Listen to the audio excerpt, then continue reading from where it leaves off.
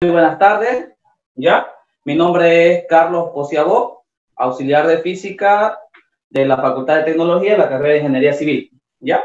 Para ambas facultades, ¿ya? Para, tanto para Ciencia de la Computación como para Tecnología. Eh, esta sería nuestra primera clase del semestre, oficialmente hablando. Eh, hemos remasterizado el grupo y vamos a arrancar con un grupo desde cero nos vamos a ver todos los días martes de 12 y 15 a 14 y 15. Generalidades.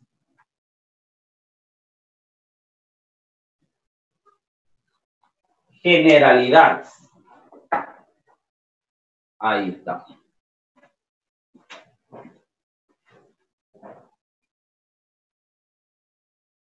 Este curso, Física 100, física básica o física general, ya más que todo se va a abocar a la parte mecánica de física, ya lo vamos a conocer nosotros como física mecánica. Es el primero y el único curso en donde vemos la mecánica en forma desglosada, ya a detalle lo vamos a ver. En ningún otro curso superior vamos a verlo de tal forma, es decir, siempre nos van a decir, tuvieron que aprenderlo en el curso de física básica. Este es el curso de física básica para nosotros un curso de física mecánica. Empezamos con generalidades. A la hora de yo querer estudiar física, a la hora de querer estudiar física, lo primero que voy a hacer yo es hacer una clara diferencia entre dos cosas. Entre la palabra definición y la palabra concepto. ¿Ya? Tengo que tener claro eso. ¿Qué es concepto? ¿Qué es definición? ¿Qué es definición? ¿Qué es concepto. Para suerte nuestra, este curso es de puros bachilleres, por lo tanto todos sabemos qué es definición y qué es concepto. ¿Ya? A ver, vamos con los ejemplos. ¿Qué es definición? Les pregunto yo a ustedes y qué es concepto.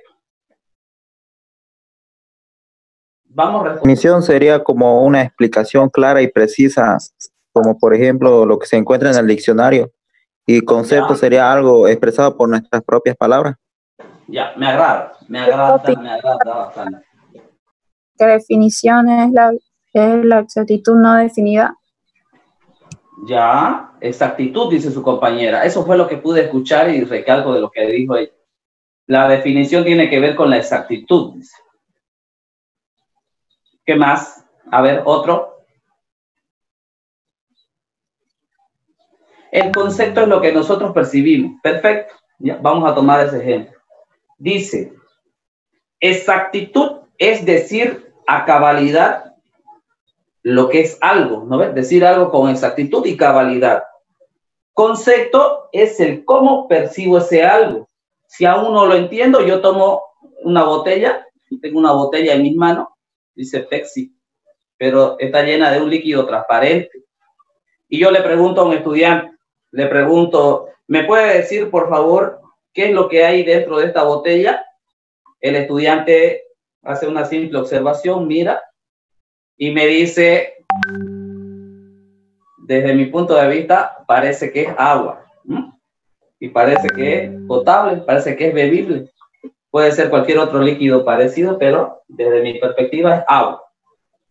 Ahora, si yo quisiera saber exactamente a exactitud y cabalidad lo que es, se la diera al estudiante la botella, él la lleva al laboratorio y después de una serie de estudios, viene con el resultado y me dice, efectivamente es H2O, inolora, incolora, insípida, parcialmente alcalina y con presencia de algunos sales minerales. O sea, es agua potable. ¿ya? Y entonces decimos nosotros, antes de estudiar física, hay que hacer una clara diferencia entre la palabra concepto y la palabra definición. La palabra definición es decir exactitud y cabalidad, lo que es algo, sin equivocarnos. Y la palabra concepto es el cómo yo percibo ese algo. ¿Por qué es importante hacer esta diferencia? Porque a la hora de estudiar física, vamos a decir nosotros, física en sí la palabra física en sí no está definida. No existe la definición de física. ¿Por qué? Porque hasta el día de hoy no se llega a decir con exactitud y cabalidad lo que es la física. Se sigue estudiando, ¿no ves? Se estudia como física cuántica, física teórica, física experimental.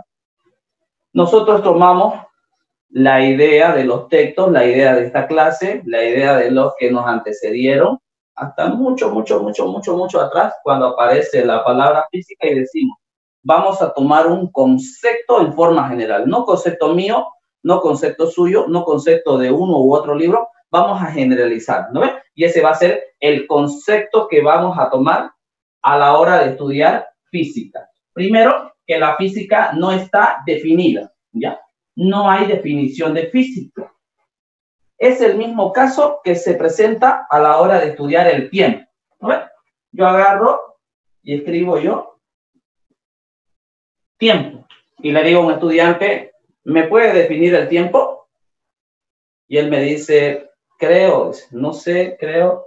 Le pregunto a otro y me dice, no, no puedo definir el tiempo. ¿Por qué no puede definir el tiempo? Porque el tiempo hasta el día de hoy no está definido. ¿no? ¿Cómo se llama este señor? El de la silla de rueda. Stephen Hawking. Falleció Stephen Hawking y no pudo terminar de definir el tiempo. Einstein tenía una perspectiva del tiempo, sí. Desde el punto de vista relativista, pero al final terminó en lo mismo, no se pudo definir el tiempo. ¿Por qué no está definido el tiempo? Porque aún en este momento se sigue estudiando el tiempo, ¿no? Seguimos, sigue en estudio, no se ha terminado de estudiar el tiempo. Es el mismo ejemplo con respecto a la física, ¿ya? Lo primero que tengo que tener en claro para este curso es la física no está definida. ¿Cómo hago para trabajar entonces? Voy a trabajar con el concepto. Y escribo, concepto de física. ¿Qué concepto vamos a estudiar de física? Vamos a generalizar ya un poquito. Ahí está. Física. Ciencia experimental. Es una ciencia experimental, observativa. Es una ciencia experimental observativa que a través de la matemática como herramienta trata de explicar todos los fenómenos de naturaleza física. Por ahora vamos a borrar la palabrita esta y vamos a decir todos los fenómenos, ¿ya? Generalizando. Y otra vez, ¿qué es la física? Es una ciencia experimental observativa que a través de la matemática como herramienta trata de explicar todos los fenómenos.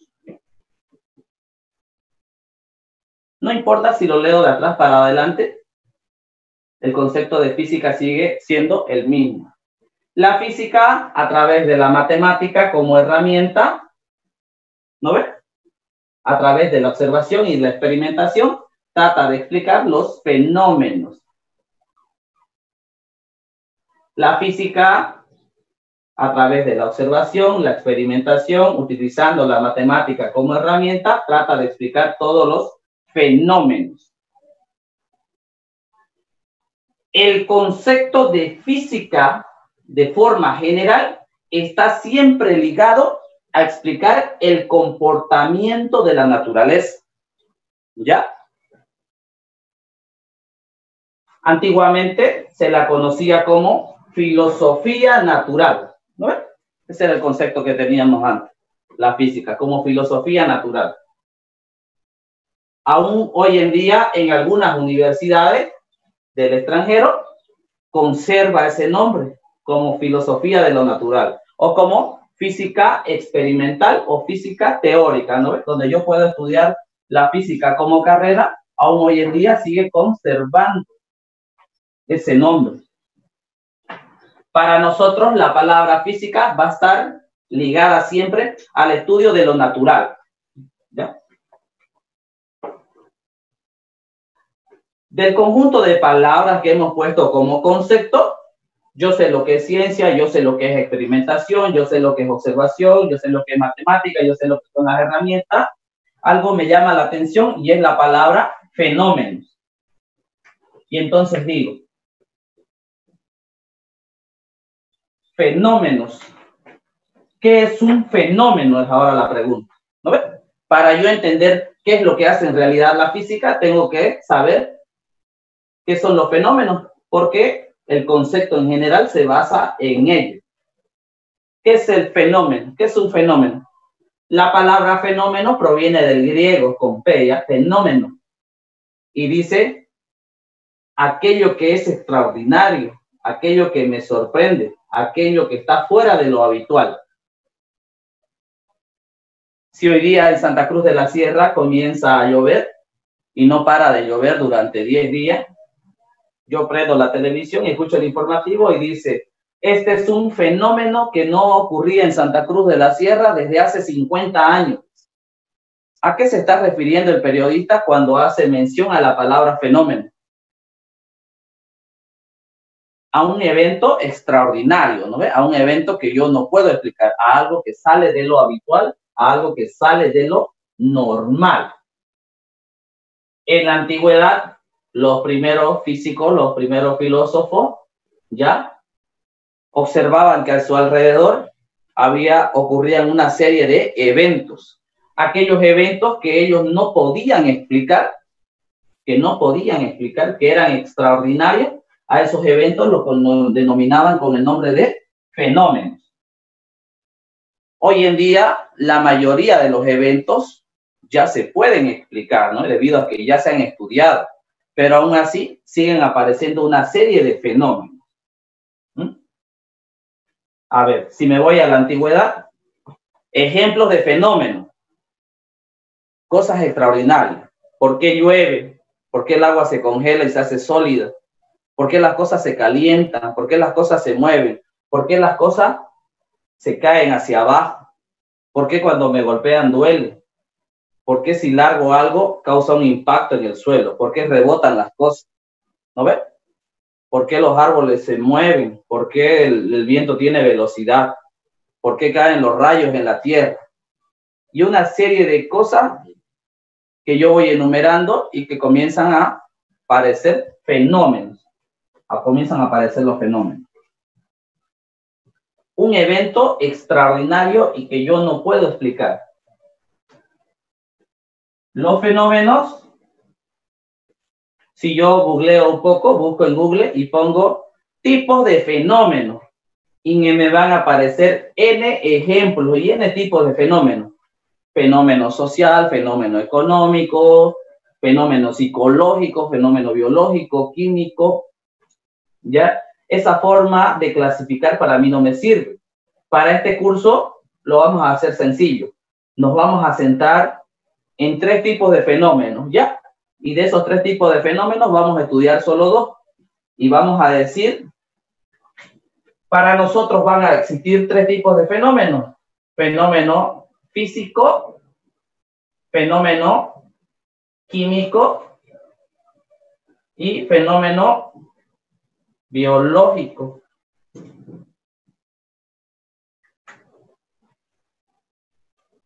Cuando yo voy a estudiar un fenómeno, es importante saber de qué tipo de fenómeno estoy, se trata.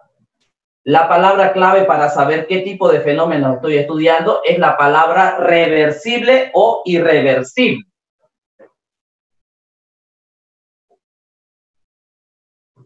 La palabra reversible o irreversible.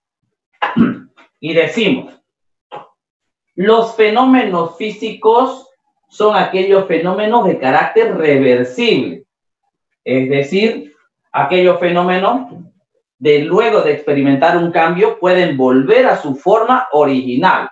Ejemplo, yo tomo en una botella, tomo agua líquida, ya, a temperatura ambiente, la llevo la botella al congelador, luego de unas horas voy y la saco y es agua sólida.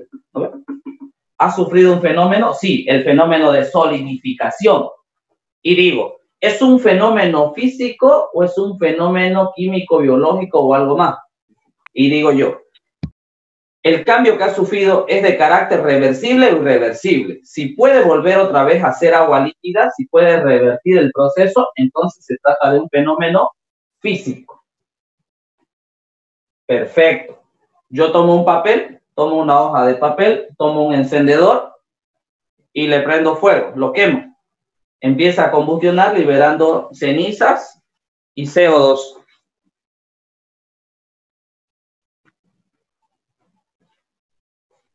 Y otra vez la pregunta, ¿no ves? La combustión de un papel se trata de un fenómeno reversible o irreversible. Es un cambio reversible o irreversible. Se trata de un cambio irreversible, por lo tanto se trata de un fenómeno químico. Voy probando con cada uno de los elementos, ya agarro una barra de metal y le aplico fuerza y la barra se deforma por acción de la fuerza. Se duebla la barra de fierro. Puede volver a su posición original si es sí, se trata de un fenómeno físico. Si es no, se trata de otro tipo de fenómeno. ¿Ya? Los fenómenos biológicos tienen que ver con la naturaleza biológica. No lo vamos a estudiar en este curso, lo igual que los fenómenos químicos. Pero para nosotros va a denotar algo, que son de carácter irreversible, ¿no ve? Irreversibles, ¿ya? Una vez tenemos claro el concepto de fenómeno físico y con la diferencia con los otros tipos de fenómenos, entonces borramos lo otro y nos centramos en lo que queremos. Ahí está. Lo borramos y ahora sí podemos estudiar nuestro tema. ¿No ves? Física, ciencia experimental observativa que a través de la matemática como herramienta trata de estudiar todos los fenómenos de naturaleza reversible todos los fenómenos de naturaleza física. Fenómeno físico. Perfecto. Ya sabemos lo que vamos a estudiar. Vamos a estudiar los fenómenos en realidad. Entonces. Ahí. Yéndome a la palabra física. La palabra física proviene del griego física. ¿Ya?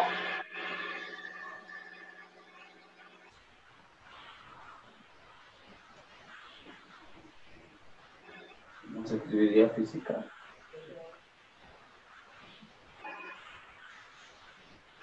En griego. Física.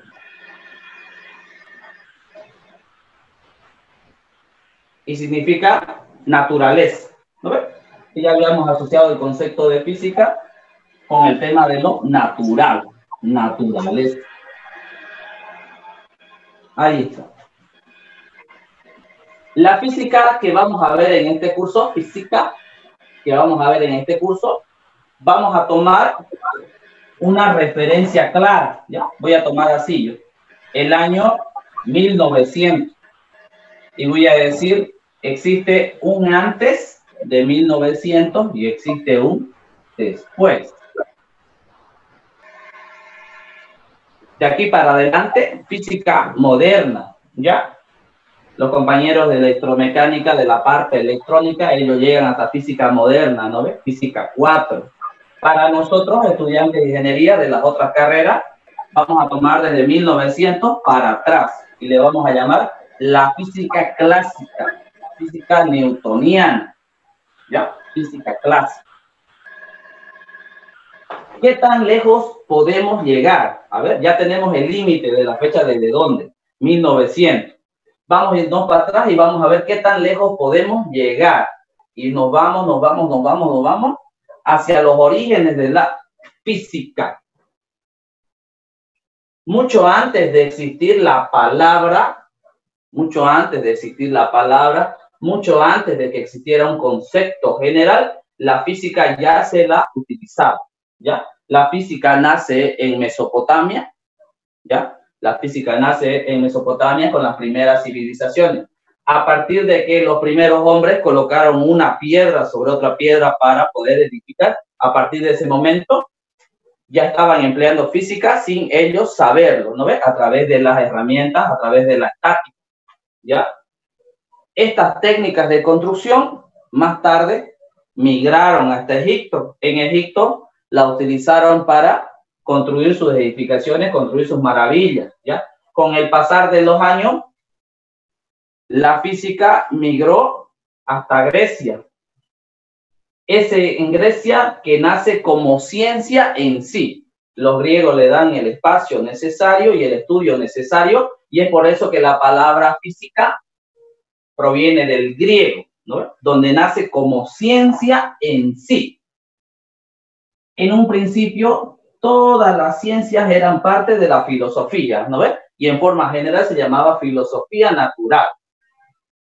Todas las ciencias estaban en una. Con el pasar de los años se fueron haciendo más específicas y los campos y las limitaciones de la física se fueron haciendo más evidentes, terminando la física en estudiar solo aquellos fenómenos de naturaleza reversible.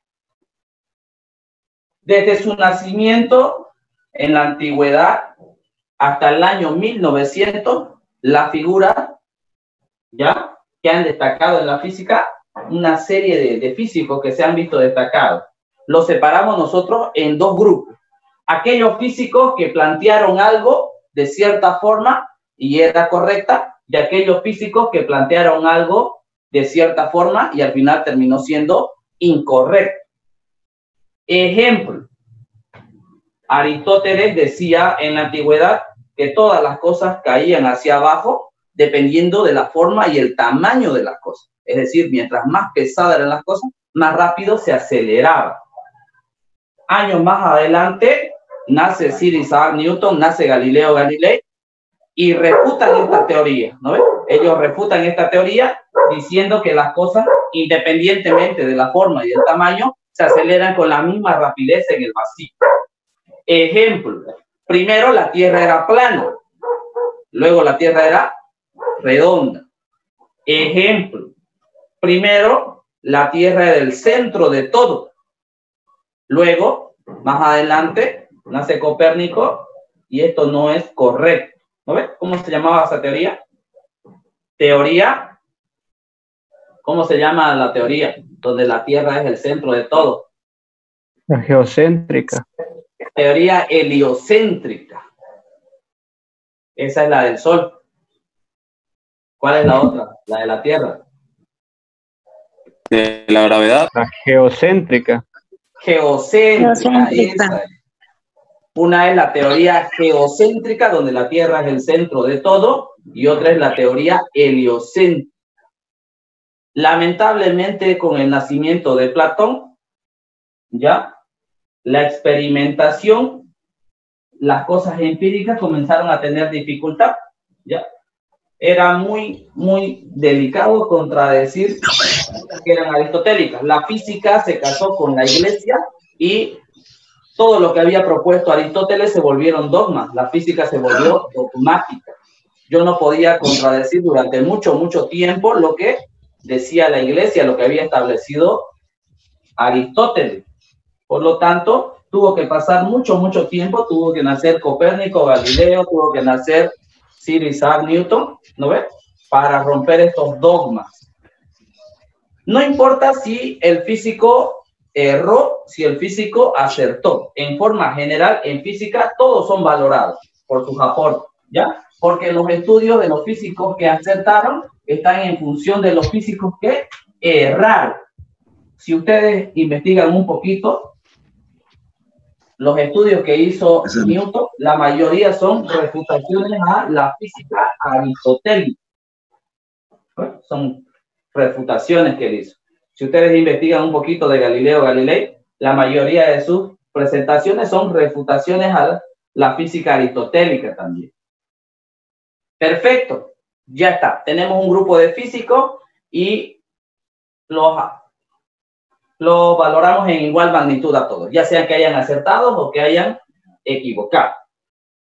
Nos vamos a la antigüedad, me voy otra vez a la antigüedad. Estoy parado en el patio, ¿ya? en mi casa en la antigüedad, y digo, a mi alrededor están ocurriendo una serie de eventos que yo no puedo explicar. ¿No ves? No hay, no, hay explicación para nada. Las cosas se caen hacia abajo. ¿No ves? Si yo pongo un poco de agua en una zona fría, se congela. Si tomo un hielo y lo pongo en algo caliente, se derrite. El sol se mueve, las estrellas se mueven, la tierra parece que se mueve. Nada tiene sentido, no hay respuesta, solo hay preguntas. ¿Por qué? ¿Por qué? ¿Por qué? Y es así como nace la física, a través de la observación. ¿Ya? Lo primero que denotan es que el cielo, el firmamento de la noche, los astros se mueven en forma minúscula, pero se mueven.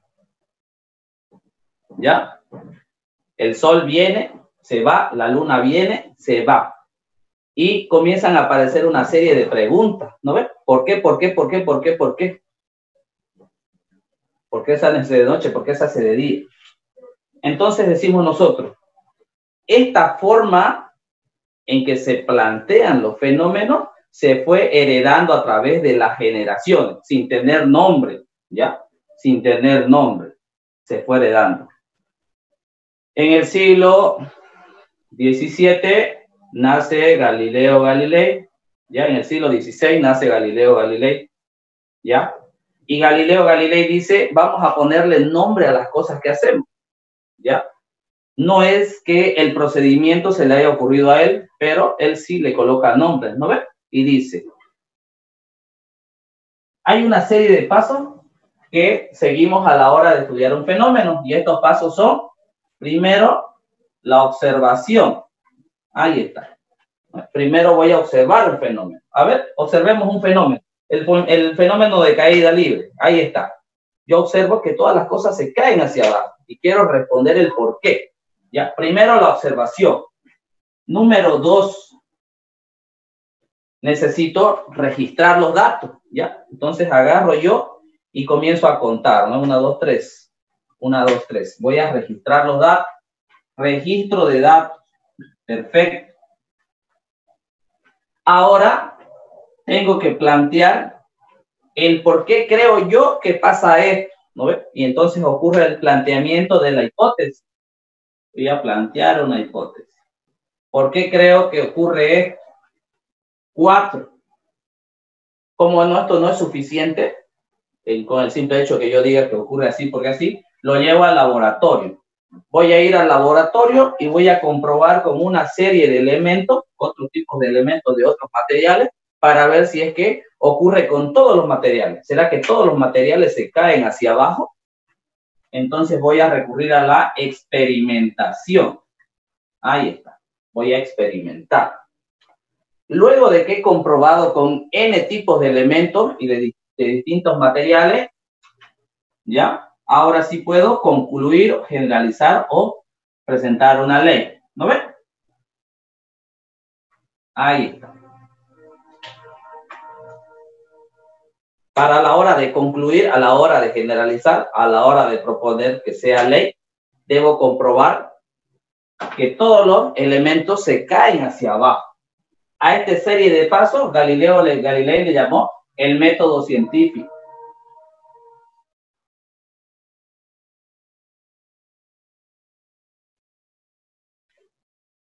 Ahí está.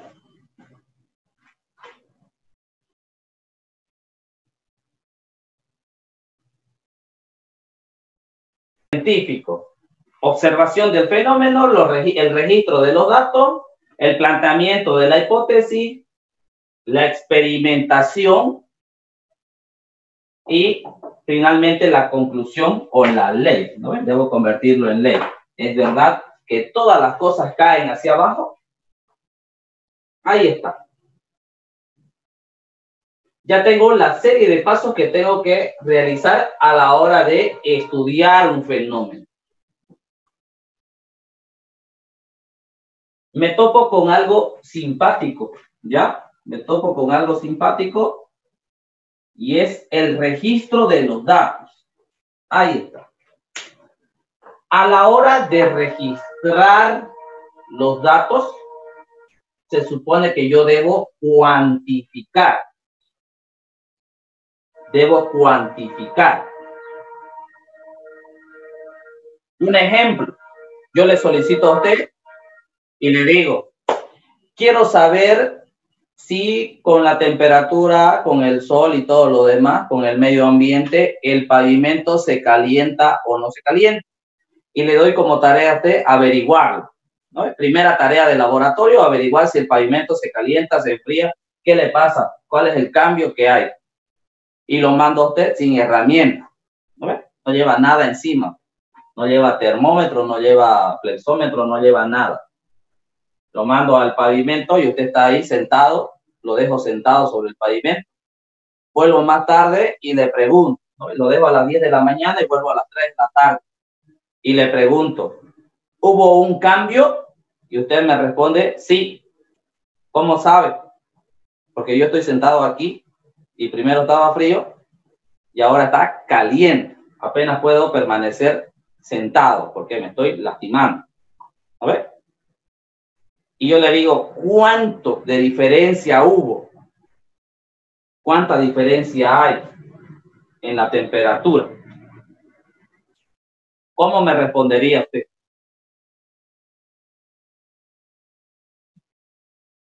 Así, es evidente, obvio. A cualquier persona que yo lo deje sentado ahí me va a decir si hay una diferencia. Pero ¿cómo puedo cuantificarlo? Otro ejemplo más fácil yo agarro y le pido a usted y le digo, ¿me puede regalar 50 centavos? Y dice, sí. Ahí está, 50 centavos. Y luego le digo, ¿me puede regalar 5 bolivianos? Y dice, mm, creo, no creo, a ver, ya. Luego vengo y le digo, ahora quiero 50 bolivianos. Ya dice, mm". más tarde vengo y le digo, quiero 500. Entonces, ya, ya no hay nada. ¿Cómo hacen la diferencia ustedes? ¿Cómo hacen la diferencia entre saber qué es poco y qué es mucho? Cuando es poco dicen sí, a medida que va subiendo y que va, se va haciendo grande, ¿cómo notan la diferencia? Esa diferencia que ustedes hacen, esa cuantificación, esa cuenta mental que hacen ustedes, ¿no ve? Esas son las magnitudes, ¿no ve? ¿Qué impacta más? ¿Qué impacta menos? A la hora de seguir el método científico, en el punto 2 me he quedado, porque es un poco más complicado. Ahora ya no es simplemente observar, ahora debo registrar los datos. Y hablando del pavimento, hay un cambio de temperatura. ¿Qué, temperatura? ¿Cuánto cambió? ¿Qué cantidad? y entonces aparecen las magnitudes. Borro todo esto y el problema, quiero estudiar física. Este curso es para estudiar física, para resolver problemas. Pero a la hora de seguir el método científico, que es el método que vamos a seguir siempre, me toco con el registro de datos. Y el registro de datos tiene que ver con las magnitudes físicas. Y escribo entonces, a ver,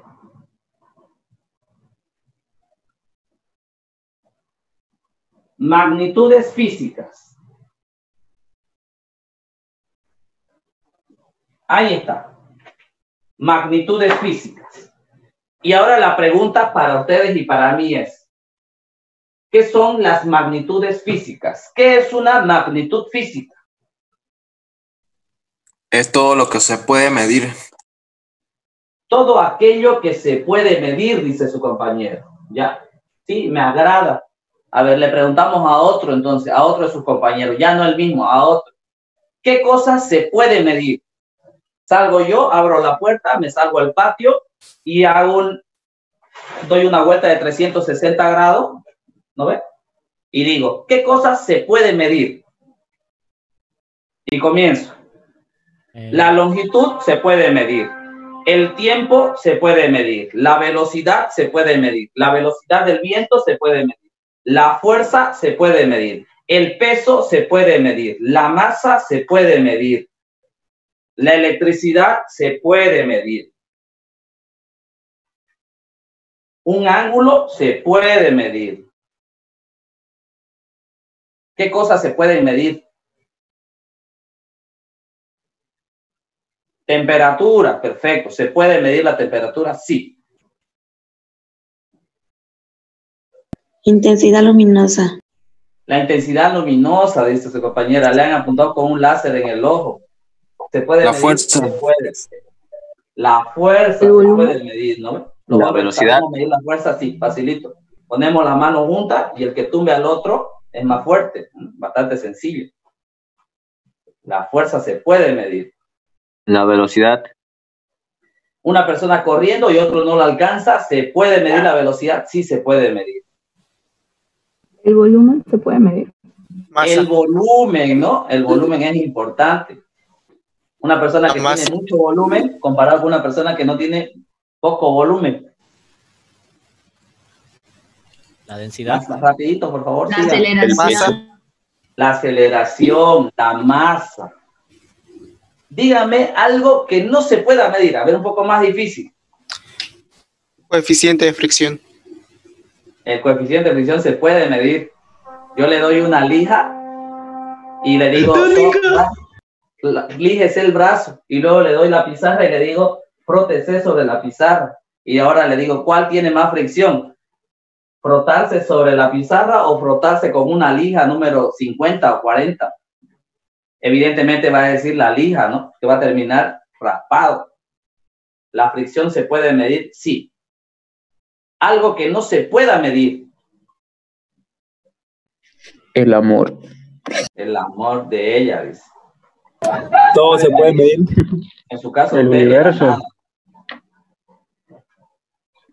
Ya, La ¿qué cosa capacidad de liderazgo. A ver, si El espacio. una, una cosa que no se pueda medir, a esa cosa le vamos a poner su nombre. ¿Ya? ¿Se han dado cuenta las unidades? Algunas unidades, algunas magnitudes, su unidad viene en minúscula y otras vienen en mayúscula. Las que vienen en mayúscula son en conmemoración a la persona o alguna celebridad, ¿ya? A la persona que la descubrió o alguna, alguna celebridad. Ejemplo, si Elías ahorita me da un ejemplo de alguna magnitud que no se pueda medir, entonces esa es una nueva magnitud, no se ha descubierto todavía. Le vamos a tener que poner el nombre de Elías, ¿no ves? A partir de ahora. Así como son los Newton, así como son los Tesla, así como son los Kelvin, los Faraday y todos los demás. Entonces decimos, ¿qué es una magnitud física? Es todo aquello que se pueda medir. ¿Cuáles magnitudes se pueden medir? ¿Qué cosas se pueden medir? Y yo me doy una vuelta de 360 grados y digo, todo a mi alrededor se puede medir. El viento, eh, la fuerza, el movimiento, la intensidad luminosa, el calor, la masa, el peso, ¿no ve? La cantidad de sustancia, el volumen, la longitud, el área, todo se puede medir. Y si encontramos una magnitud que no se pueda medir, a esa magnitud le asignamos un nuevo nombre. ¿No ves? ¿Quiénes son los que salen y entran ya? Van a disculparlo, puse la clase como límite 100, ya para la próxima le pongo sin límite. Y decimos nosotros, una magnitud física es aquella que se pueda medir. Y escribo acá, ¿no? Todo lo que se puede medir. Pero ¿qué es medir? ¿Qué es medir? Es comparar. Medir es comparar, dice su compañero. Agarro, le digo a su compañero yo, por favor, puede medir esta pizarra y no le doy flexómetro, ni cinta, ni le doy nada parecido. Y él agarra y dice, ¿puede medir esta pizarra? Claro.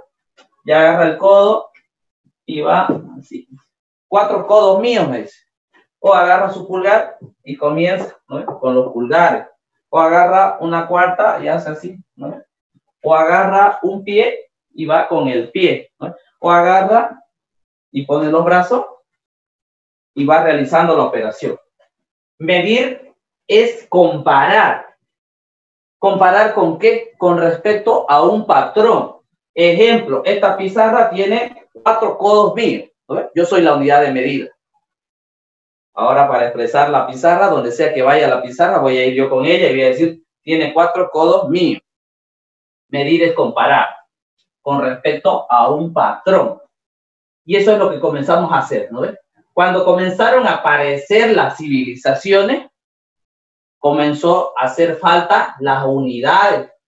Yo sembraba arroz, tú criabas ganado, y a la hora de intercambiar, yo tenía que darte dos puñados de arroz por medio puñado de carne, o un saco de arroz por medio saco de carne. Entonces comenzó a aparecer los patrones. Y cada civilización, cada grupo, cada pueblo que apareció, comenzó a crear sus propias unidades. ¿No ves? Como todos somos diferentes, todos teníamos unidades diferentes. No es lo mismo mi pulgar mío que un pulgar de una persona mucho más alta o mucho más baja, mucho más pequeña. Comenzó a aparecer diferencia. Comenzó a aparecer diferencia. A tal punto que todo el mundo manejaba su propio sistema de unidades. Alguien dijo, no podemos continuar así, no podemos continuar esto como una ensalada. Donde todo el mundo hace lo que quiere, todo el mundo tiene sus propias unidades. Vamos a crear un sistema de unidades único. ¿Ya?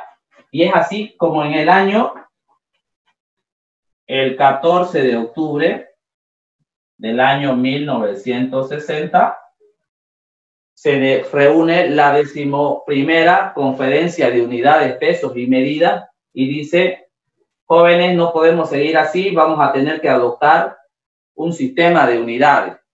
Y la palabra me agrada, sistema de unidades, llamémoslo así, sistema de unidades. Antes tenía nombres raros. Utilizaron la palabra sistema de unidades y se quedaron con la palabra. Ahí está. Sistema Internacional de Unidades. Perfecto. ¿Cuáles son las unidades que vamos a utilizar? Dijeron. Los señores franceses parece que llevan ventaja en el tema de las unidades. Hace muchos, muchos años que ellos vienen estandarizando, ¿ya? Los franceses son los primeros en el tema de las unidades. Un rey francés agarró y dijo, la unidad de longitud va a ser la siguiente. Por favor, puede medir mi dedo. Midieron el dedo pulgar y quedó la unidad de la pulgada. Otro rey, pariente de este, dijo, puede medir mi pie y apareció el pie. Otro dijo, puede medir mi codo y apareció el codo. O desde la punta de la mano hasta donde empieza, hasta el medio de mi pecho, un poquito más, ahí apareció la yarda, ¿no ves? Y fueron apareciendo así. Los franceses llevaban ventaja, ya. Un personaje dijo, para hacerlo más, más estándar, vamos a tomar desde el polo hasta la línea del Ecuador casi, y lo vamos a dividir entre en mil kilómetros. Y esta unidad que salga, salió una unidad así, un pedacito. A esta unidad lo vamos a llamar el metro. ¿no? Y a este metro lo vamos a dividir entre 100, son centímetros. Y a este metro lo vamos a dividir entre 1000 y va a ser los milímetros. Ya nace el sistema métrico. Sistema métrico, sistema único. Según el acuerdo, se supone que todos deberíamos utilizar este sistema, el único sistema a nivel mundial. Pero como siempre, no todos pueden acatarlo. Y uno de los principales países que no lo acata es Norteamérica, ¿no? Estados Unidos. Los señores de Estados Unidos dicen, nosotros no vamos a adaptar, cambiar el sistema, nos quedamos con el sistema inglés. Perfecto. Otro país por ahí le sigue la corriente, Birmania, lo que era Birmania antes, y Serbia. Actualmente tres países en el mundo no utilizan el sistema internacional de unidades. Perfecto. El sistema internacional de unidades nace con seis unidades básicas, ¿ya? Seis unidades básicas. Ahí está. Seis unidades básicas. Casi diez años después, en el año 1971, se vuelve a reunir la conferencia de unidades, pesos y medidas y le agregan una nueva unidad al sistema, una unidad básica nueva, la cantidad de materia o mol. Entonces, en la actualidad, en forma general, se dice que el Sistema Internacional de Unidades nace en el año 1900 con siete unidades básicas, cuando en realidad son seis y una se le añade. ¿Cuáles son estas unidades básicas? ¿Las podemos nombrar? Sí. Vamos con las más facilito. Primero, la más Luego, el tiempo. Vamos a anotar, ¿ya? No. Ahí está. Vamos a anotarlo. La masa. El tiempo. La longitud. La intensidad de corriente.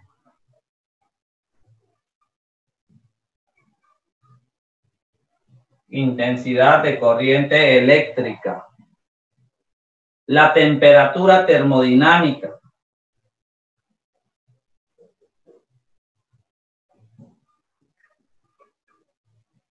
Temperatura termodinámica. La intensidad luminosa.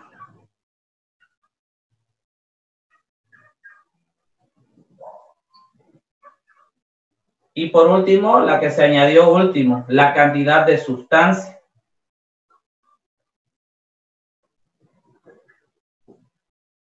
Ahí está.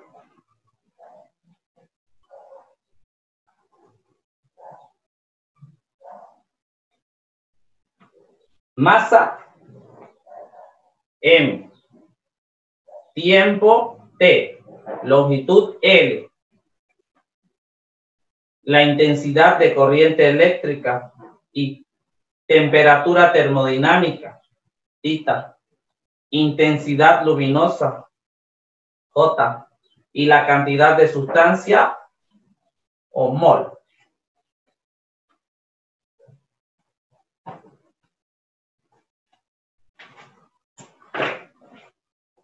El sistema internacional de unidades, o también conocido como sistema métrico, ya, vamos a decirlo en forma general, nace el 14 de octubre de 1960, como sistema que lo conocemos con siete unidades básicas, ¿ya? Siete unidades que ellos creen que son las básicas. A partir de estas unidades van a aparecer otras unidades, ¿no? Ejemplo, una de esas es la longitud. Yo agarro y digo longitud y longitud y aparece el área, ¿no? Que es una magnitud derivada. Si a esto le agrego una dimensión más, ahora se convierte en volumen, ¿no ves? Perfecto.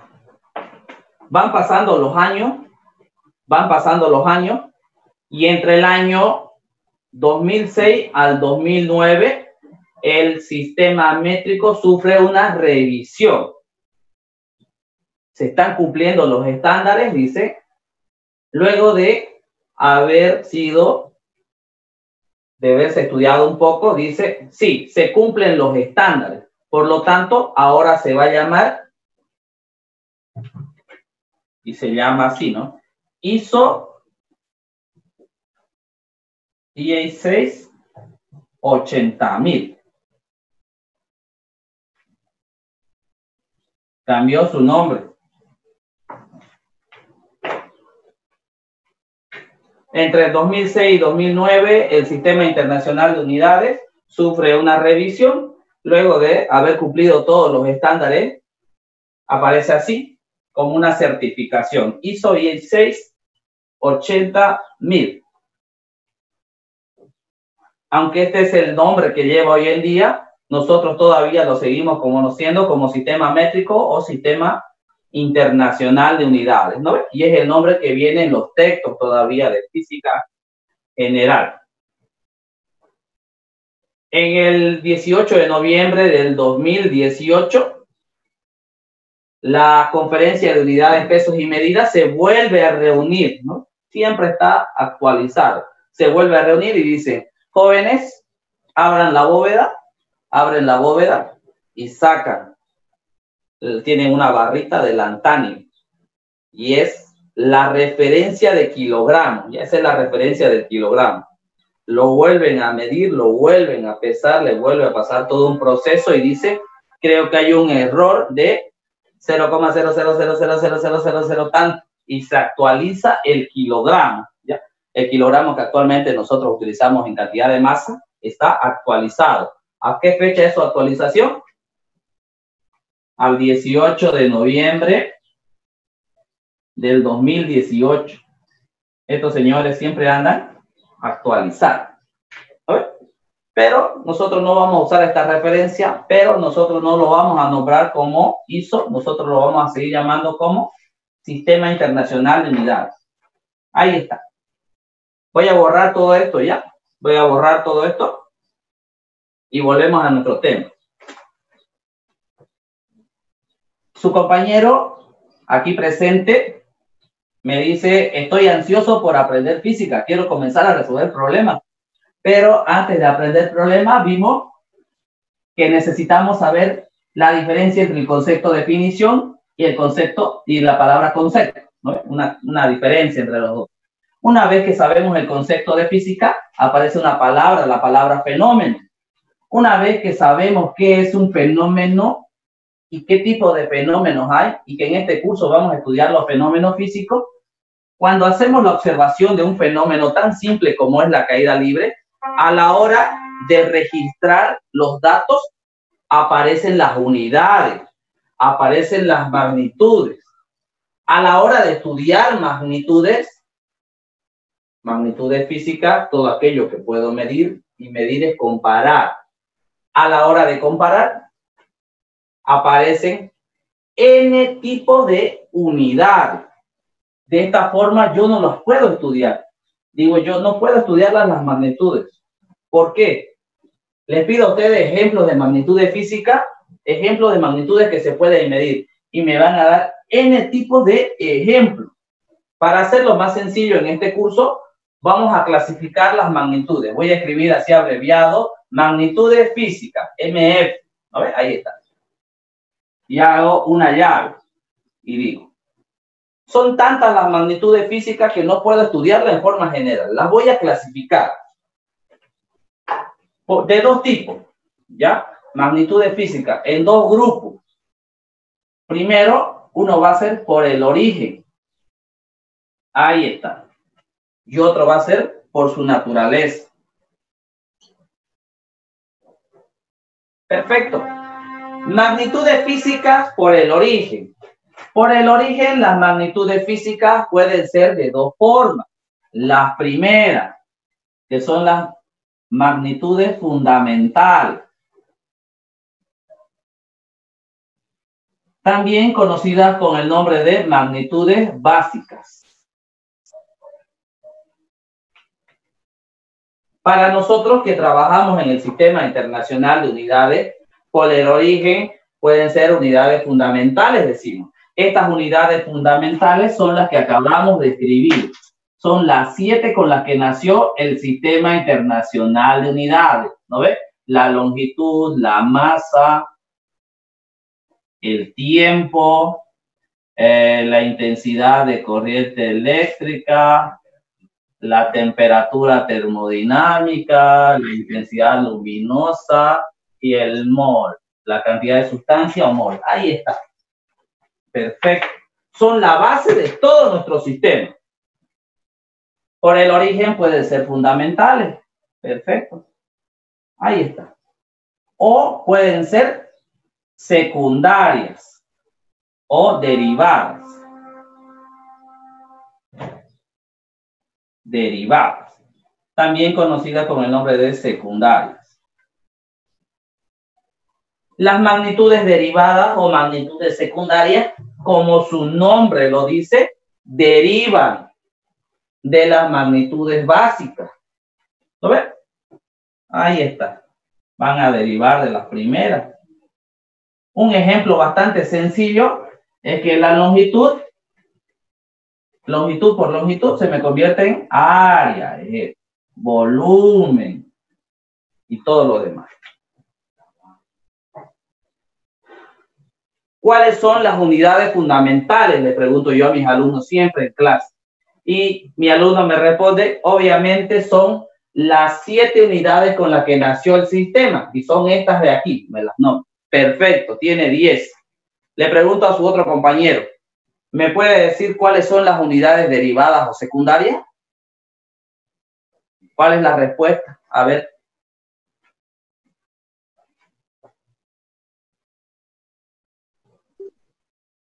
Pueden descomponerse en fundamentales o básicas?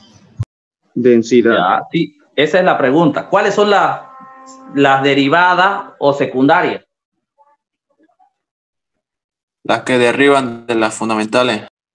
Sí, ese es el concepto, pero ¿cuáles son? N. Su compañera dice velocidad, aceleración, y está correcto, pero esas son todas, ¿cuáles son? Trabajo, potencia, Ya. Todo lo que me digan va a ser correcto. ¿Cuál es la respuesta en realidad? Longitud, masa y tiempo. No, esas son fundamentales. Aquí están. Longitud, masa y tiempo van a ser, son fundamentales. Yo estoy preguntando cuáles son las secundarias.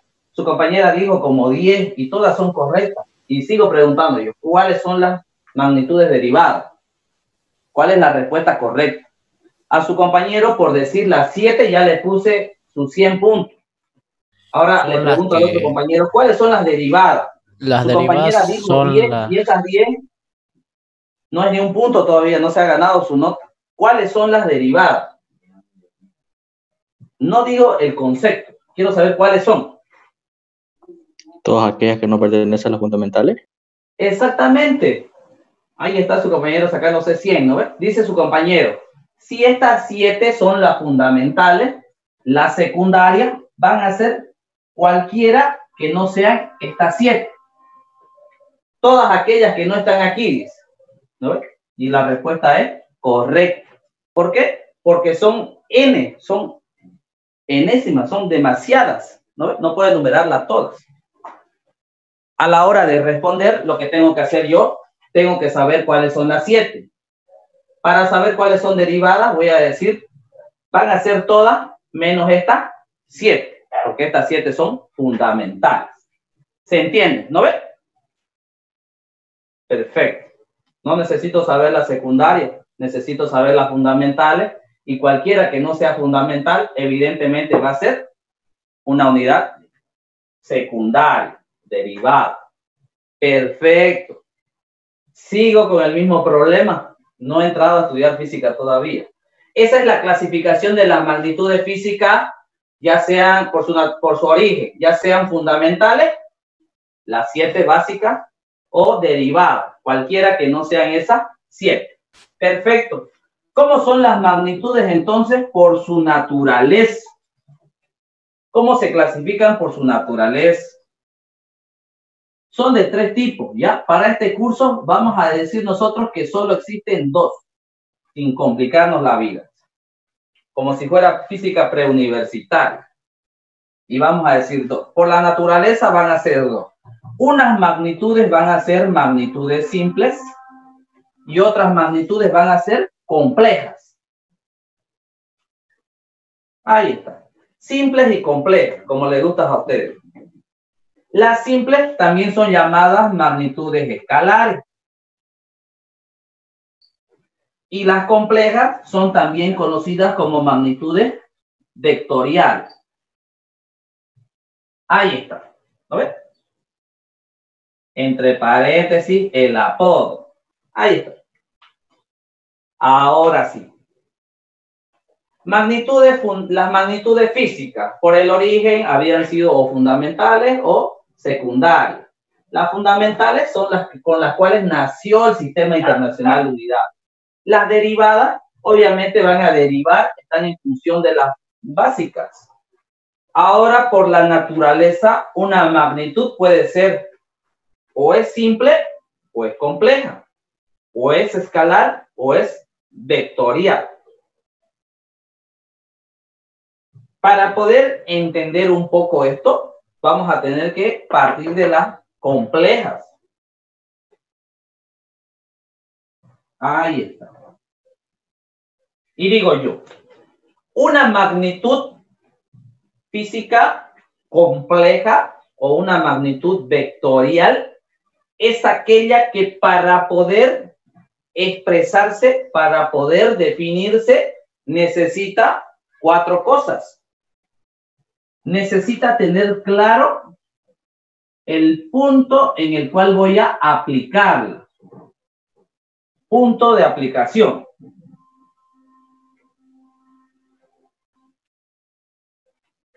Necesita también una determinada dirección. Necesita también un determinado sentido y necesita también una determinada cantidad, módulo o intensidad.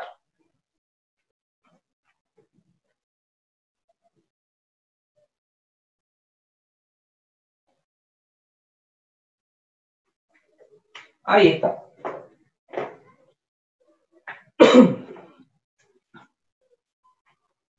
Magnitudes físicas. Por su naturaleza o son simples o son complejas. Empecemos por las complejas. Se dice que una magnitud es compleja porque necesita para poder expresarse y definirse, necesita de un punto de aplicación, necesita de una dirección, de un sentido y de una cantidad.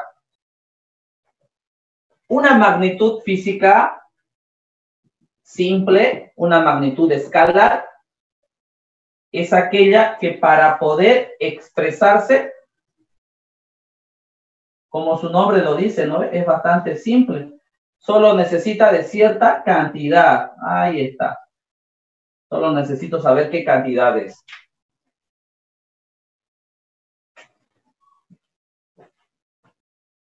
y le vamos a hacer una raya roja aquí.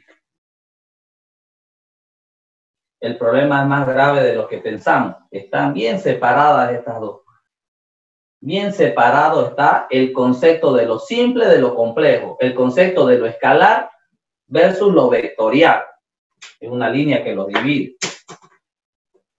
Esta pelea es tan antigua que la hemos visto antes, la hemos visto en cuarto de secundaria, ¿no? Ustedes lo han visto con su profesor de física del colegio y es la pelea entre el ejemplo masa versus peso. Ahí está. ¿Se acuerdan de esta pelea? Sí, es una pregunta del examen en cuarto de secundaria. Y la pregunta decía lo siguiente. La diferencia entre masa y peso. ¿Cuál es la diferencia entre masa y peso? ¿Qué es masa? ¿Qué es peso? ¿Puedo googlear todo el día?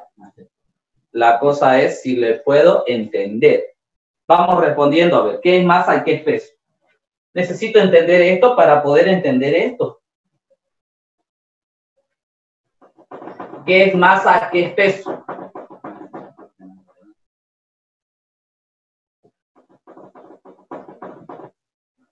¿Qué es masa? ¿Qué es peso? Apúrense, por favor.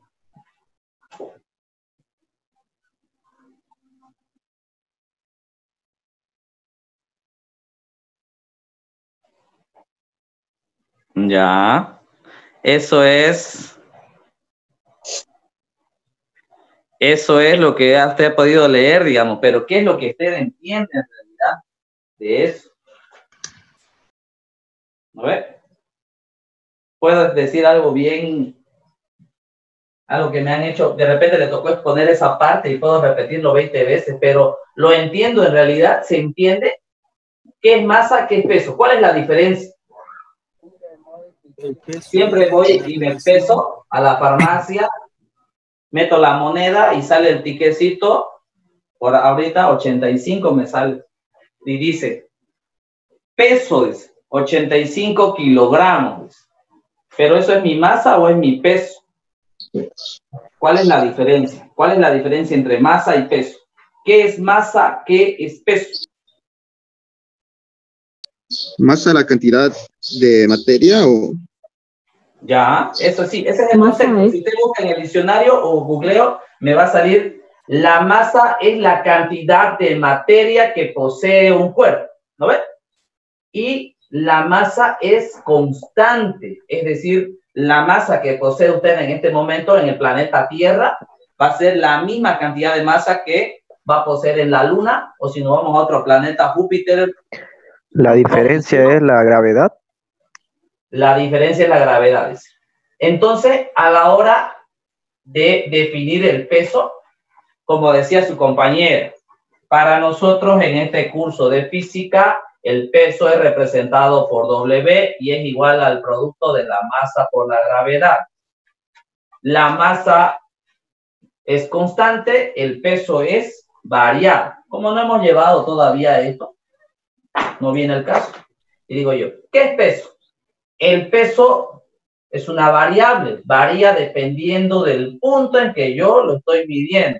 Es decir, no es lo mismo yo pesarme en la ciudad de Santa Cruz que pesarme en la ciudad de La Paz o pesarme en la luna o pesarme en cualquier otra parte del universo. ¿No ves? El peso está en función del lugar y del punto en el cual estoy midiendo. No es el caso de la masa. La masa es constante. En otras palabras, la masa es una magnitud escalar y el peso es una magnitud vectorial. ¿Por qué? Para poder definirse y expresarse la masa, no necesita de otra cosa más que de su cantidad. Ejemplo, yo tengo una masa de 85 kilogramos. El peso, una magnitud vectorial o una magnitud compleja, que para poder definirse necesita de un punto de aplicación, de una dirección, de un sentido y de una cantidad.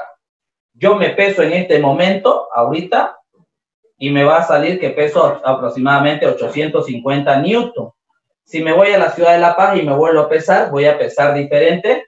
Si me voy y me peso a la luna, voy a pesar diferente. Y a medida que me vaya alejando de un punto de gravedad, voy a ir pesando de forma diferente, porque depende mucho del el punto de aplicación, la dirección, sentido y cantidad. ¿No ves? Es la eterna pelea. Uno es escalar, el otro es vectorial. Uno es la cantidad de materia que posee el cuerpo y es constante, y el otro es la cantidad de fuerza de atracción gravitacional que posee una masa sobre otra. En otras palabras, si yo tengo que dibujar el planeta Tierra aquí y me tengo que dibujar yo sobre el planeta, ahí estoy yo, mi peso va a depender eh, del punto en el cual estoy midiendo porque depende del campo de, atracción en la tierra sobre mí. ¿No ves? Ahí está. Si no se entiende todavía esta parte, no hay problema. Lo hacemos con un ejemplo. Y yo pongo una X aquí. Ahí está una X. Acabo de poner una X y le digo a su compañero. Le digo a su compañero, puede pasar y aplicar una fuerza sobre ese punto ¿no? Está bien definido el punto. Ahí está. Su compañero viene hasta acá y le digo, ¿puede aplicar una fuerza sobre este punto? Y me dice, sí, sí puedo aplicar una fuerza. ¿Qué me va a preguntar su compañero antes de aplicar la fuerza? ¿Cuánto? ¿En qué dirección? Me va a preguntar, el punto lo tiene definido, ya está dibujado el punto de aplicación me va a preguntar primero la dirección. ¿En qué dirección quiere que aplique la fuerza? ¿Quiere que aplique la fuerza en el eje vertical o quiere que aplique la fuerza en el eje horizontal? Yo le digo, aplique en el eje vertical. Antes de aplicar la fuerza, ¿qué me va a volver a preguntar? Me va a preguntar por el sentido que va a aplicar la fuerza, porque no es lo mismo que aplique fuerza hacia arriba en sentido hacia arriba o que aplique fuerza en sentido hacia abajo. Va a tener un resultado diferente. Yo le digo, aplique fuerza hacia arriba. Ahí está, aplicando fuerza hacia arriba sobre este punto. ¿no ve? Ahora, ¿qué me va a preguntar? Me va a preguntar por último la cantidad. ¿Qué cantidad de fuerza desea que aplique sobre este punto? Yo lo observo y como tiene 18 años, aproximadamente 60 kilogramos fuerza. ¿Lo ves? Perfecto. Y ahora digo, la fuerza, le pregunto a ustedes, ¿es una magnitud escalar o es una magnitud vectorial? Y todos en coro me dicen, la fuerza es una magnitud vectorial porque es una magnitud compleja. Para poder yo aplicar fuerza sobre este punto, necesito especificar primero el punto de aplicación, la dirección, el sentido y la cantidad. Y si ustedes ahora hacen una comparación con respecto a otras magnitudes, hay unas magnitudes que no necesitan punto de aplicación, no necesitan dirección, no necesitan sentido, solo necesitan una determinada cantidad. Ejemplo, yo le digo a uno de ustedes, tráiganme un litro de lo que sea, y me traen un litro. Ahí está. Un litro echado, un litro parado, igual sigue siendo un litro. Si lo pongo en mi cabeza o lo pongo en mis pies, sigue siendo un litro. Si lo pongo sobre la mesa, si lo pongo arriba de la pizarra en cualquier lado, sigue siendo un litro. Entonces, el volumen es una magnitud escalar o es una magnitud vectorial y decimos nosotros es una magnitud escalar. ¿Me puede decir alguien qué hora es? ¿Qué hora es? 1 y 40. 40. 1 y 40. 1 y 40. Perfecto. ¿El tiempo es una magnitud escalar o es una magnitud vectorial? Escalar. Escalar. Escalar. Porque no tiene punto de aplicación, no tiene sentido, solo es una cantidad. ¿Me puede decir alguien qué temperaturas nos encontramos ahorita en Santa Cruz de la Sierra? 23 22. grados. 22, 23, dice aproximadamente por ahí. ¿Es una magnitud escalar o es una magnitud vectorial? Vectorial. Escalar. Escalar. Escalar. Escalar, porque solo depende de la cantidad, ¿no? Yo le digo a ustedes, 22 hacia arriba o 22 hacia abajo. No, no hay 22 hacia arriba, hacia abajo. Es solamente 22. Entonces hacemos una clara diferencia. Hacemos una clara diferencia entre las magnitudes escalares y las magnitudes vectoriales. Una magnitud escalar o magnitud simple, como su nombre lo dice, es aquella que para poder expresarse o definirse solo necesita de cierta cantidad, ¿no? La cantidad y la unidad. Una magnitud compleja es aquella, es bastante especial, ¿no? Como la fuerza.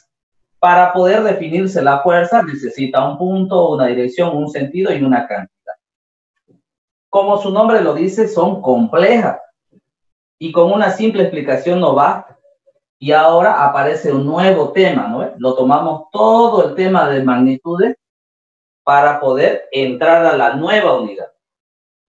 El tema de magnitudes físicas, como son tantas, las estudio ya sean por el origen en fundamentales y derivadas, y por su naturaleza ya sean en simples, escalares o ya sean vectoriales. Esta parte del tema, la clasificación de las magnitudes por su origen y la aparición del sistema internacional de unidades, estas siete, y la aparición de unidades derivadas es lo que a ustedes le va a demandar en toda la materia este semestre, lo que son las conversiones. Si todo el mundo usara las mismas magnitudes, no hubiese necesidad de convertir, ¿no? Solo tenemos que convertir a los múltiplos. Como Birmania, como Libania y Estados Unidos no quieren adoptar el sistema, tienen su propio sistema de unidades y debido al comercio, entonces nosotros tenemos que hacer conversiones. Yo lo mando a uno de ustedes al mercado y va donde la casera y la casera le dice 6 libras de cebolla. ¿No ve? Una arroba de papa. Y yo le pregunto a ustedes, ¿las libras, las arrobas son unidades del sistema internacional de unidades? No, son unidades del sistema inglés y entonces a ustedes aparece lo que les encanta, las conversiones. Una arroba, ¿cuántos kilogramos es? Necesitamos llevarlo al sistema internacional. Un pie, ¿cuántos metros tiene? O un kilómetro, los múltiplos y los submúltiplos, ¿ya? Un kilómetro, ¿cuántos centímetros son? Ahí está. Y toda esta parte no lo van a ver conmigo ya, las conversiones, le voy a dejar unos cuantos videos, voy a subir al canal unos cuantos videos haciendo conversiones y ustedes van a buscar la forma de aprender a convertir. Esta parte del tema, la parte de aquí arriba, algunos docentes ni siquiera lo explican, viene de forma no lo digo, no lo preguntan, viene de forma implícita. En el caso de los alumnos del Z1, del Z4, del Z5, del Z3, ¿ya? En el examen no viene como pregunta, no dice convertir dos arrobas en tantos kilogramos. Simplemente la pregunta ya viene en una unidad y la respuesta le pide en otra. En forma implícita le está pidiendo que usted haga su debida conversión. ¿No? En el práctico de la mayoría de los grupos viene como primera unidad, ¿ya? En el práctico que yo le mando, no le mando conversiones, ya muy poquitas. Por la otra parte, en el tema de los múltiplos y submúltiplos, nos vamos a estar moviendo también, ¿ya? Si tienen dudas, directo al WhatsApp o al canal. En esta otra parte, magnitudes fundamentales, magnitudes por su naturaleza, ya sean simples o complejas. La parte de las magnitudes complejas es la parte que está acompañada de la trigonometría, ¿ya? Y es a lo que les encanta a ustedes, ¿no? Y es la parte en la que vamos a entrar a detalle, ¿ya? Su compañero me dice a qué hora vamos a empezar a resolver problemas. Eso es lo que queremos hacer. Queremos empezar a resolver problemas, pero esta es una cadena de eventos, ¿no? Que una cosa va desatando otra y va desatando otra y va desatando otra. Por ahora, todo lo que es las magnitudes simples, ¿ya? Son operaciones aritméticas y no me interesa, ¿ya? Lo borro también. Me voy a quedar con esta pequeña parte. Magnitudes físicas de naturaleza compleja o también conocida como magnitudes vectoriales. Ahí está. Borré todo lo que no quería y me quedo con las magnitudes vectoriales. Y entramos a un nuevo tema. ¿No ves? Vectores. Ahí está. Se supone que ustedes lo han visto en segundo de secundaria y un repaso en tercero de secundaria. Cuando entramos a electroestática en sexto de secundaria, otra vez tuvimos que volver a hacer un pequeño repaso de las magnitudes vectoriales. Si han cumplido el programa de secundaria, entonces se la deben saber. Como la mayoría se ha olvidado o no lo han avanzado en su colegio, entonces vamos a hacer un pequeño repaso. Y empezamos con un curso de vectores. No quiero estudiar vectores en realidad, lo que quiero es resolver problemas de física. Hago una pausa a los problemas de física y he entrado a magnitudes y de magnitudes aparecieron las conversiones y después de las conversiones aparecieron las magnitudes complejas, magnitudes vectoriales. Ni modo decimos y continuamos. Mientras más rápido pasemos vectores, mejor, ¿ya? Magnitudes vectoriales o vectores la palabra vector se utiliza por primera vez en el siglo XVI, pero se utiliza como referencia una palabra griega mucho más antigua, ya la palabra versor. Vector proviene del griego versor, que significa aquello que conduce. Aquello que conduce. Es tanto, es tanto la similitud con su concepto que la representación que nosotros hacemos de vectores para este curso, ya, lo hacemos en forma de una pequeña flechita, así, una flecha para nosotros. Esa va a ser la representación más básica que tenemos de un vector. Matemáticamente impropio, ¿ya? Este no es un curso de matemática vectorial, por si acaso. ¿Ya? Es un curso de resolución de problemas con vectores, de forma práctica matemáticamente impropio, sí. Voy a ponerle un asterisco a todo lo que sea matemáticamente impropio, ¿ya? Me voy a apoyar en lo más esencial. Como sé que están cero en la mayoría de las cosas, así que vamos a hacer un repaso conmigo. Perfecto. Aprovechando el gráfico, digo yo, las partes de un vector para mí, primero, el punto de aplicación. El punto de aplicación del vector va a ser un punto en su trayectoria, ya sea que el vector esté llegando al punto o saliendo del punto, ¿ya? Por el principio de transmisibilidad de fuerza. Dos, el sentido del vector va a ser, digo, la dirección del vector va a ser el ángulo que va a tomar dicho vector. ¿Ya? Ahí es. Dirección. La punta de la flecha en mi gráfico va a representar siempre el sentido, hacia dónde va el vector, ¿no? su sentido. El tamaño del vector, también llamado como longitud, magnitud o intensidad. ¿ya? Para este curso, para hacerlo más fácil, vamos a llamarle el módulo del vector.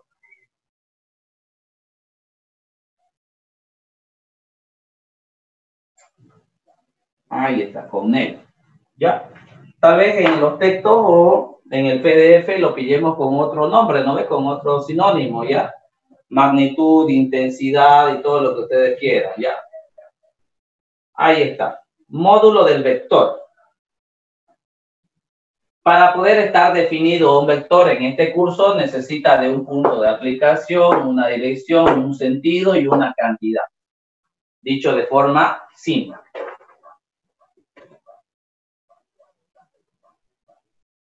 Ahí. En cuanto a su nomenclatura, acostumbramos a expresar las magnitudes vectoriales con las letras del alfabeto, ¿ya? Dependiendo del autor, vamos a encontrar las primeras letras del alfabeto o de la parte intermedia, ¿ya? Pero nunca del final. ¿Por qué no? Nunca vamos a encontrar con X con Y o con Z, ¿no? Con la final del alfabeto. ¿Por qué? Porque para este curso esto ya tiene significado para nosotros, ¿no ves? Hemos, adoptado geometría plana como ejes de referencia, ¿no ves? El eje X, el eje Y, el eje Z. Por lo tanto, ese van a ser nuestro sistema de ejes, ¿ya? no van a ser vectores. Para este curso que van a llevar conmigo, vamos a utilizar nosotros las primeras letras del alfabeto en mayúscula, así, ¿ya? en cuanto a la nomenclatura. Para expresar un vector o representarlo, yo voy a dibujar una letra mayúscula y para diferenciarlo de todo el texto va a llevar una flechita arriba, ¿ya? Leyéndose esto de la siguiente manera. Esto se lee vector A. Ahí está. Vector A. Cuando estemos haciendo operaciones y yo encuentre la letra mayúscula entre barras, esto se va a leer módulo del vector A.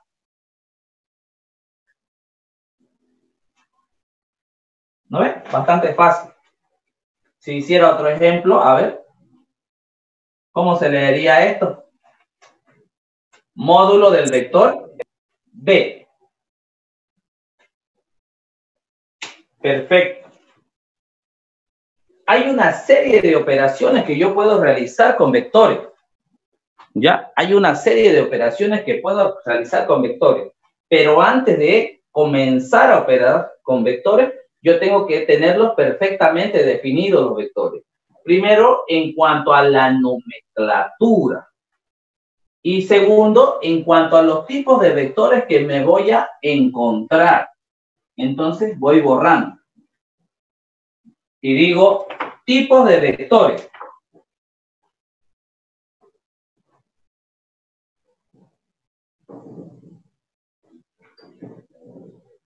Tipos de vectores.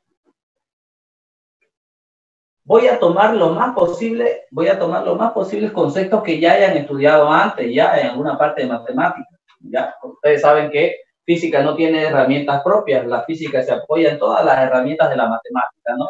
dice la matemática como herramienta. Voy a poner así, ¿ya? Con un asterisco y voy a poner este, vectores coplanares.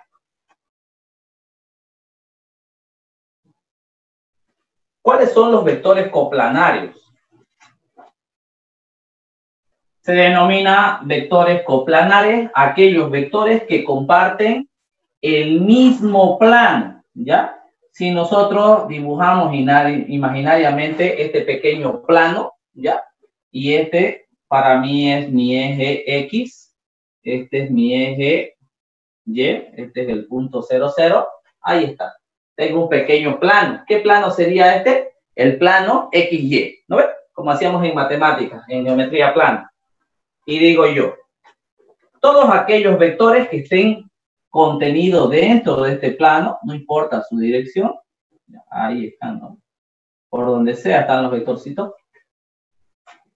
¿Se ve? Sí, se ve, ¿no? Dibujito pequeño. Este pequeño cuadradito es toda mi pizarra, ¿ya? Y digo yo, este es el plano XY. Este es mi eje X, este es mi eje Y, este es el plano XY, como hacía en geometría plana. Todos aquellos vectores que están contenidos apoyados dentro de este plano se lo conoce con el nombre de vectores coplanales, porque comparten el mismo plano. Si el plano en general fuera esta pizarra que yo estoy utilizando, todos aquellos vectores que están apoyados o dibujados sobre esta pizarra serían vectores coplanares, porque comparten el mismo plano. Perfecto. Si lo digo de otra forma, toda esta pared es un plano. Todos aquellos vectores que están sobre este plano son vectores coplanares. Si yo observo el piso, es un plano. Todos aquellos vectores que están apoyados en el piso son vectores coplanarios. Lo mismo con cualquiera de las dimensiones.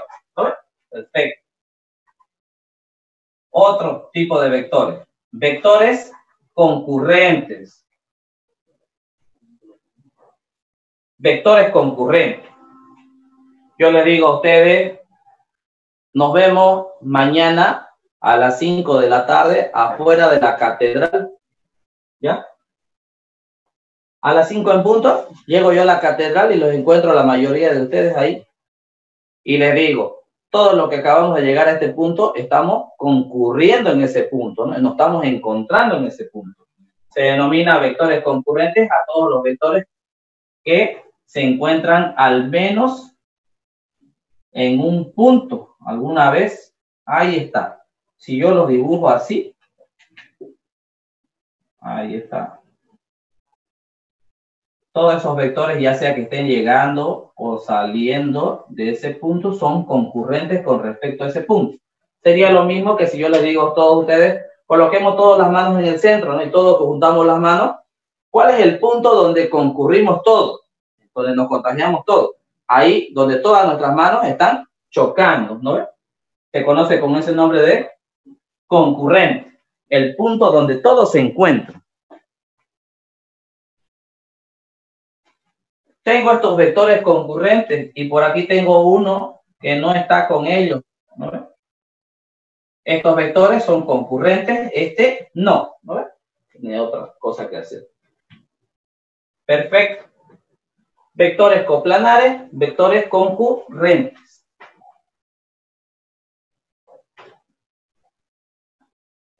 Otro tipo de vector, vector colineal. Ahí está. ¿Cuáles son los vectores colineales? Son aquellos vectores que comparten la misma línea de acción. Ejemplo.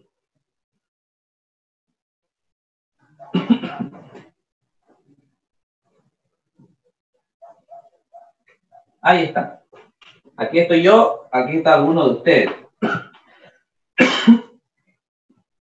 Estamos jugando a jalar la cuerda. ¿Ya? Han jugado alguna vez, ¿no ves?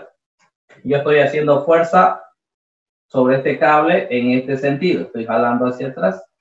Este personaje está haciendo fuerza en el sentido contrario.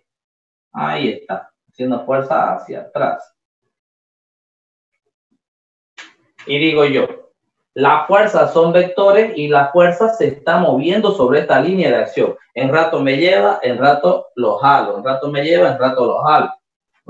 Se dice que son vectores colineales, aquellos vectores que comparten una misma línea de acción. En este caso, la línea de acción sería la cuerda. Los vectores se están moviendo a través de esa línea. ¿Cuáles son los vectores colineales? Aquellos que comparten una misma línea de acción. En este caso, la fuerza de esta persona y de esta persona. Son colineales.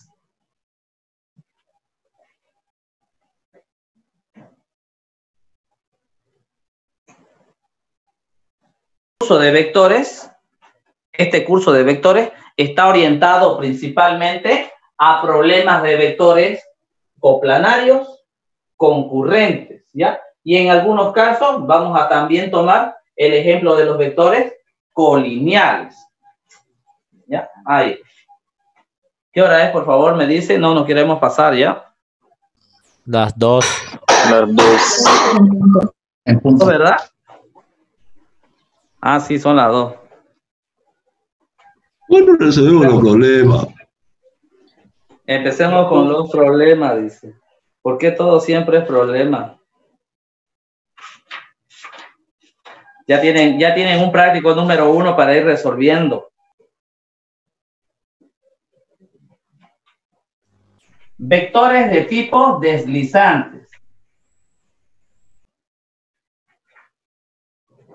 Yo tengo una estructura aquí, ya ahí está la fix.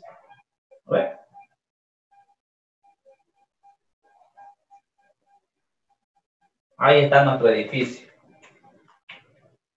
Y sobre este edificio, en la planta alta, en la última losa, yo voy a colocar un tanque de agua. Ahí está. 10 toneladas le pongo encima. Ahí está, 10 toneladas de agua. Y digo, el peso que tiene este tanque en la parte superior de este edificio, su peso en forma de vector se transmite a la losa. Ahí está. Y de la losa se desliza hacia las vigas. Y de las vigas se transmite a través de las columnas. ¿No ves? La fuerza se va moviendo. Hasta llegar al, a las fundaciones. ¿no? Y llega a sus fundaciones y de sus fundaciones se transmite al suelo, donde va a descansar la carga. Ahí está. Le coloqué un peso en la parte superior, pero este peso se fue distribuyendo a estos vectores, a estos vectores que están en movimiento y que comparten esa línea de acción, se los conoce con el nombre de vectores deslizantes. Los vectores deslizantes también son vectores colineales porque comparten una línea de acción, pero son fuerzas de movimiento, ¿no? Un ejemplo parecido sería, yo tengo aquí un vehículo, ¿ya?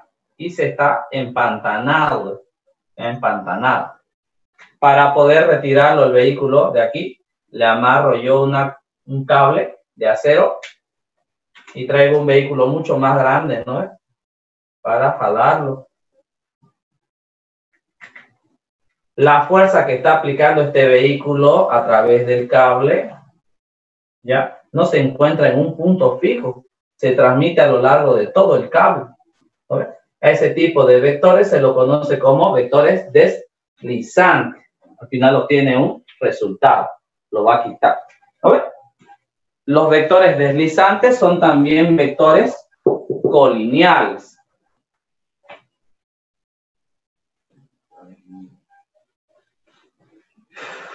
Ahora decimos nosotros, ¿qué pasa con aquellos vectores que no quieren ser coplanares, no quieren ser concurrentes, no quieren ser colineales, no quieren ser vectores deslizantes?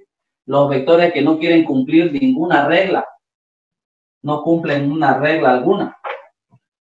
Los conocemos con el nombre de vectores libres. Ahí está. Vectores libres. ¿Cuáles son los vectores libres? Si yo tuviera que dibujarlo en tres dimensiones, tendría que hacer así para hacer mi plano de referencia, como ustedes les gusta. Así están, ahí están todos los ejes, ¿no? En tres dimensiones. Aquellos que están apoyados en este plano serían los vectores coplanarios en el plano XY. Aquellos vectores que están en este plano apoyados en el suelo serían los vectores coplanarios XZ. Lo mismo para este plano y para cualquier otro. Pero hay una serie de vectores que no siguen ningún tipo de regla, están por donde sea, flotando, donde sea. Si estuvieran aquí en el aire, estuvieran hacia donde sea. ¿no? son concurrentes, no son colineales, no son nada. A este grupo de vectores se le conoce con el nombre de vectores libres. Un ejemplo claro de su actuar, yo agarro una piedra, la coloco en una prensa, ya han visto las prensas, y comienzo aumentar la fuerza. Una perilla voy aumentando la fuerza y llega un momento en que la piedra se va a fracturar. ¿no? Si tuviera que imaginar una prensa, imaginaría algo así. Esta es la prensa, ¿ya? Y aquí está la piedra. Estoy aplicando fuerzas. ¿Cómo va a partir la piedra? Va a partir perfectamente horizontal, perfectamente vertical, o tal vez vaya a partir perfectamente oblicua o al otro lado. ¿Cómo creen que va a partir la piedra? La piedra, sin respetar ninguna regla, va a partir por donde quiera, ¿no? Sí va a terminar por donde sea. Y digo yo, si esta aula fuera la piedra y están haciendo presión de arriba o de abajo, lo que están haciendo, se están sumando entre sí los vectores libres en cualquier dirección y está sufriendo cierto efecto. A la hora de romper la piedra es el efecto por donde han pasado los vectores, ¿no No siguen ninguna regla, no son perfectamente horizontal o perfectamente vertical o perfectamente oblicuo, son lo que sea, es el resultado de lo que acaba de ocurrir. Parte por donde sea. En esa forma actúan los vectores libres. Perfecto. Ya conocemos los tipos de vectores. Ya este curso principalmente se va a tratar de vectores de tipo coplanarios, de tipo concurrente y en algunos casos vamos a ver también vectores colineales. ¿Ya? Vamos a ver vectores de tipo colineal. Ahora necesitamos entrar a las operaciones con vectores y sus reglas, ¿no ves? Debe haber un conjunto de reglas para poder realizar operaciones con vectores, pero no quiero dejar las operaciones con vectores a media, ¿ya?